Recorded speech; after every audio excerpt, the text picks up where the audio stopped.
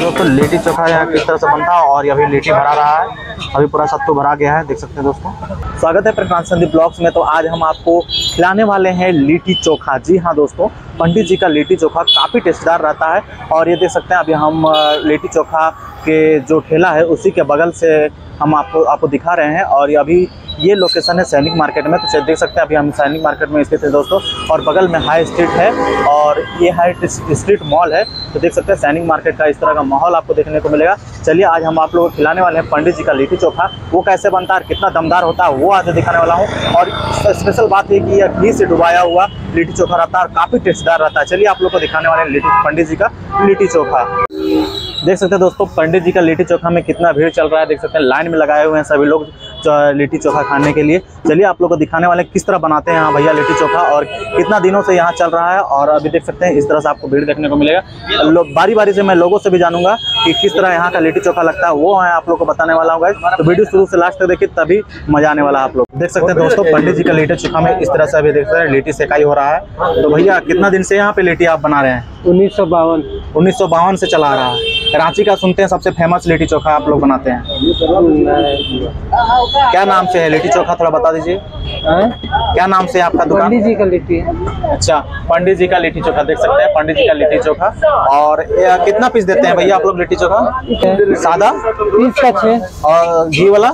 चालीस का छः। अच्छा तभी ये सेकाई हो रहा है ना लिट्टी। इसका साइज़ इतना ही रहता है सब सारा घी में डुब- डुबा देते हैं ना। जैसा ओरिजिनल घेरा था रहता वैसा है। ओरिजिनल घी रहता है ना? हाँ भैया। ये देख सकते हैं कि है देख सकते हैं दोस्तों, लिट्टी चोखा के लिए भीड़ लगाए हुए हैं भैया लोग, और काफ़ी भीड़ यहाँ देखने को मिलेगा। चलिए, लिट्टी चोखा कैसे बनाते हैं? पंडित जी, वो मैं आप लोग को दिखाने वाला हूँ, और काफ़ी टेस्टीदार रहता है इनका घी का लिट्टी चोखा। और भैया स्पेशल सेक रहे हैं इधर लिट्टी, और पंडित जी यहाँ पे देख सकते हैं स्पेशल बना रहे हैं लिट्टी चोखा, देख सकते हैं इनका। इस तरह का मटेरियल रहता है इनका। सबसे अच्छी बात इनका ये लगा कि जो पत्तल में सखुआ का पत्तल में देते हैं ना, वो सबसे बढ़िया चीज़ है, क्योंकि प्लेट वगैरह में देते हैं तो वो जूठा हो जाता है। ये खा के फेंक देते हैं। इसको खा के पूरा फेंक देते हैं ना भैया? तो देख सकते हैं झारखंडी का ट्रेडिशनल जो पत्ता है तो हम लोग सखुआ का पत्ता में हमेशा भोजन करते हैं। वो यहाँ पे, पंडित जी यहाँ पे लिट्टी चोखा बेचने के लिए इस पत्ता का यूज़ करते हैं सखुआ का पत्ता का। देख सकते हैं दोस्तों। ये देख सकते हैं दोस्तों, लिट्टी चोखा यहाँ किस तरह से बनता है, और अभी लिट्टी भरा रहा है। अभी पूरा सत्तू भरा गया है, देख सकते हैं दोस्तों। अभी देख सकते हैं, लिट्टी चोखा घी में जा रहा है दोस्तों। ये देख सकते हैं अभी घी से निकाला गया है। छह पीस रहता है ना चाचा? ये देख सकते हैं घी से निकला हुआ अभी। ये घी पूरा घी से डाला हुआ है ना? हाँ। प्योर घी है ना? हाँ इनका घी है देखिए। अच्छा ये प्योर घी देख सकते हैं दोस्तों।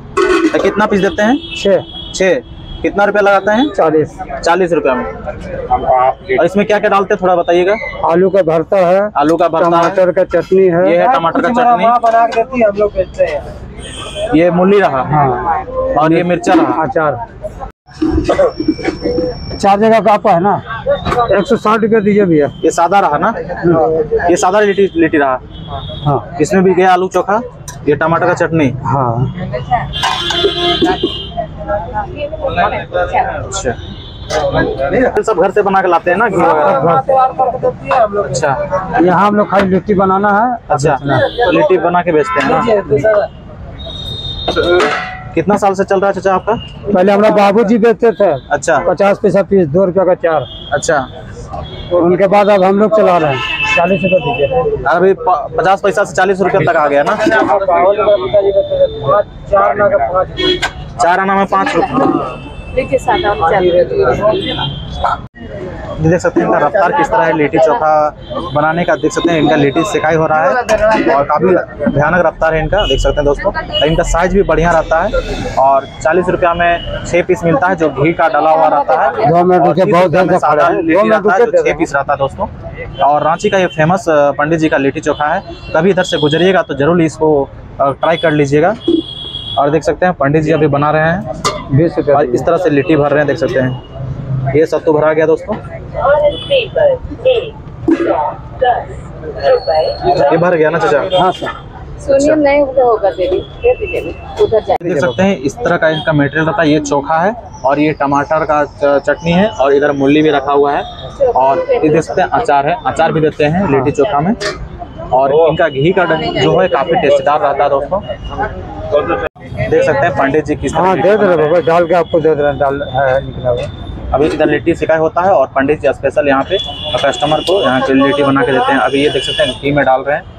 लिट्टी सिकाई हो चुका है और उसके बाद ये घी में डाल के आराम कैसा लग रहा है भैया लिट्टी चोखा यहाँ पंडित बहुत जी का? मस्त पिछले दस साल से हम खाते आ रहे हैं। दस साल से? हम्म। और जो घी में डाला रहता है वो कैसा लग रहा है? सबसे मस्त वही लगता है। वही लगता है? सादा भी अच्छा लगता है लेकिन घी बना के जब आवे नहीं। अच्छा तो आप दस साल से यहीं पे बस जब इधर से गुजरे तो ज़रूर रुकते चलिए कैसा लग रहा है भैया पंडित जी का लिट्टी चोखा? बढ़िया लग रहा है भैया। अच्छा और कितना साल से आप खा रहे हैं यहाँ पे?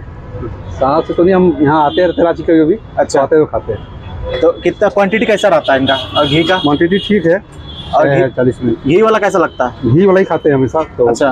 अच्छा लगता है। अच्छा रहता है ना? कैसा लग रहा है भैया लिट्टी चोखा? अच्छा लग रहा है। अच्छा कब से खा रहे हैं आप? हम कुछ महीना से खा रहे हैं। अच्छा। दोस्तों काफ़ी लोग दूर दूर से आते हैं यहाँ खाने के लिए स्पेशल और यहाँ से गुजरते हैं तो लोग यहाँ पे खाने के लिए ज़रूर रुक जाते हैं लिट्टी चोखा। चाचा लोग भी खा रहे हैं। आपको कैसा लग रहा है चाचा? अच्छा है। अच्छा लग रहा है। बहुत अच्छा घी वाला खा रहे हैं प्लेन वाला? सादा सादा वाला। सादा वाला भी मज़ा आता है ना? हाँ। आपको कैसा लग रहा है चाचा? अच्छा लग रहा है। अच्छा लग रहा है। अच्छा। और घी वाला अच्छा लगता है या सादा वाला? सादा वाला। आपको सादा वाला अच्छा लगता है? हाँ सादा बहुत किसी को पसंद है घी वाला। हाँ वो सादा वाला। देख रहे हैं चाचा पूरा चाव से खा रहे हैं दोस्तों। चलिए भैया जी से जानते हैं लिट्टी चोखा इनका टाइमिंग क्या रहता है और लोकेशन थोड़ा बता दीजिए। ये मेरा दुकान है चर्च कॉम्प्लेक्स के सामने JD high steel street mall के बगल में। अच्छा और टाइमिंग क्या रहता है आपका? सुबह दस बजे से आठ बजे रात तक। आठ बजे रात तक। और को, कौन कौन सा वैरायटी रहता है आपका लिट्टी चोखा में? बस यही है। प्लेन वाला सादा अच्छा। और कितना दिन से आपका दुकान है? उन्नीस सौ बावन मेरा पिताजी लगा उन्नीस सौ बावन का दुकान है? हाँ। मतलब जब पचास पैसा में बिकता था उस समय से आपका दुकान? ना ना चार ना का पाँच गो चार आना में पाँच वो बिकता था? उस समय से आपका दुकान चल रहा है। और यही लोकेशन में? लोकेशन चेंज नहीं हुआ है? और आपका रफ्तार इसी तरह है? इस तरह से बनाते हैं ना? हाँ। आपका क्या नाम हो भैया? महेंद्र। महेंद्र देख सकते हैं भैया इस तरह से आपको देखने को मिलेगा रांची का फ़ेमस लिट्टी चोखा। टमाटर 200 किलो 200 रुपए किलो था उस पर भी आप हाँ हाँ हाँ हाँ हाँ। हाँ।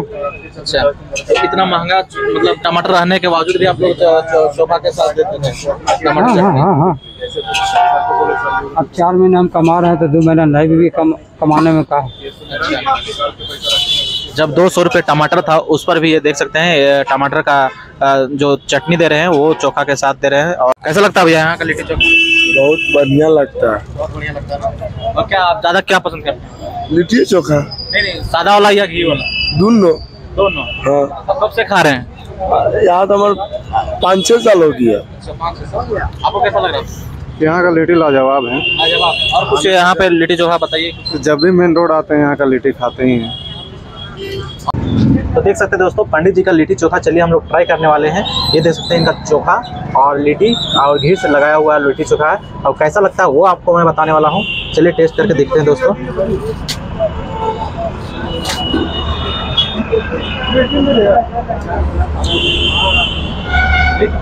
काफ़ी लाजवाब लग रहा है।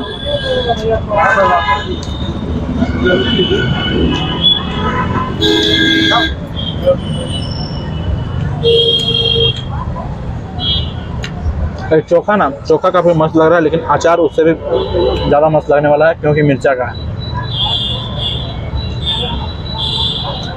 और साथ में भैया मूल्य भी देते हैं। मूल्य कितना महँगा हो सस्ता, उससे मतलब नहीं मूल्य भी मिलता है यहाँ।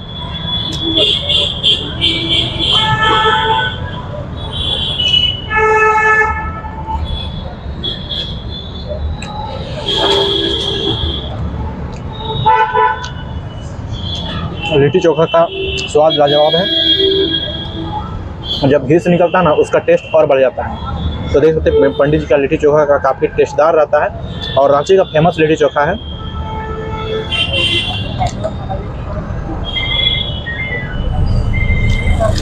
गाइस आप लोगों को लिट्टी चोखा कैसा लगा पंडित जी का?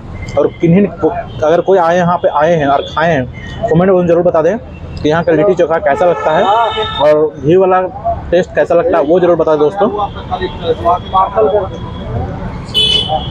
मैं पंडित जी का लिट्टी चोखा खाने के लिए तो वो कमेंट में ज़रूर बता दें और वीडियो अच्छा लगे प्लीज़ लाइक करेगा और इस तरह का वीडियो पाने के लिए चैनल को ज़रूर सब्सक्राइब कर दो दोस्तों।